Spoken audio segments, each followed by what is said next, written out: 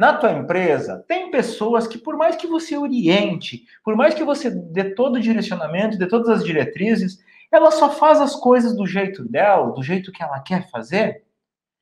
Ou então tem pessoas lá que você eh, simplesmente não pode contar com essas pessoas quando você precisar. Ou pior ainda, que do nada, quando você menos espera, de repente essas pessoas vão estar vão deixar você na mão a qualquer momento. Ah, passa por isso? Você passa por isso lá?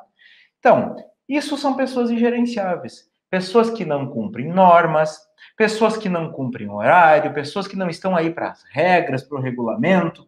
Você fala, ó, aqui na minha empresa não pode usar o celular, ela usa quando você não está lá, ela usa quando você está lá. Você diz assim, aqui para sair para fumar é tal horário, a pessoa sai qualquer hora. Se as pessoas não cumprem combinados, isso tudo são pessoas ingerenciáveis, pessoas que por mais que você tente, essas pessoas elas fazem o que elas querem, do jeito que elas querem.